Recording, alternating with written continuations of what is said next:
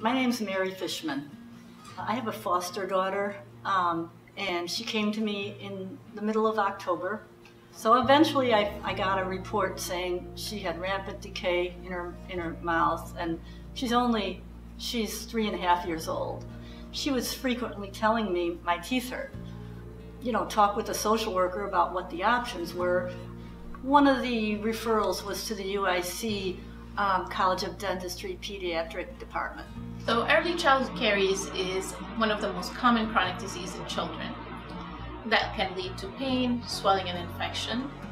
Fortunately, and good news is it's a preventable disease. Uh, at the UIC College of Dentistry, we advocate for the age one visit where we can instill good practices at a younger age that leaves the child cavity free. However, that was not the case with our patient here. Um, she presented with 12 out of 20 teeth with cavities, which made it a little bit more challenging um, for given her age and the dental needs, we felt it would be best to proceed with general anesthesia as the route to go. So, the College of Nursing and College of Dentistry recently began a partnership to have faculty from the College of Nursing and nurse practitioners see our patients in the College of Dentistry for preoperative history and physicals. In this way, we can see pediatric patients who need to have dental surgery for severe dental needs. Instead of them having to go to their primary care provider, we can do everything in an all in one appointment day. The patient in this case presented to clinic with her foster mother, and this case became more complex just due to the fact that she had multiple caregivers in the past. With a patient who has had multiple caregivers in the past, we like to perform a more detailed history and physical to ensure that we are gauging everything that's going on with the patient in terms of past medical history, like surgeries, medications the patient has had, and maybe any potential chronic medical conditions that they've had currently or in the past. So the first time she came in, we did a full exam, saw what was going on, took x-rays, um, came up with the treatment plan, and then basically due to her age and the extent of decay that she had, we decided to do her treatment under general anesthesia.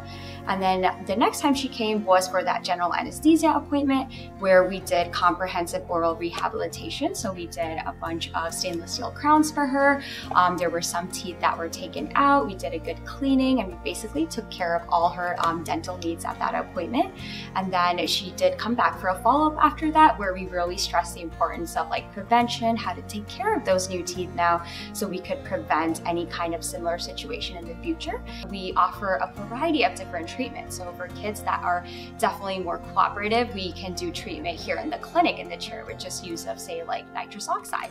But kids that need a little bit more help, they're a little bit more anxious, a little bit more scared, we can always do um, what's called sedation in the office as well. And and for kids, um, like the patient I had that are a little bit more anxious, they're younger, they just have extensive work, we always have that option of putting them to sleep under general anesthesia and getting everything done. So I think we have a wide variety of treatment options, which maybe compared to like private practice or other general practices, they might have to keep going back and forth, but we do provide that comprehensive care, make sure that when the parent and the patient comes in, we're able to take care of all their dental needs.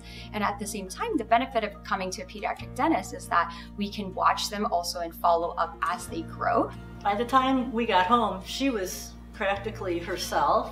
She has not had pain in her teeth.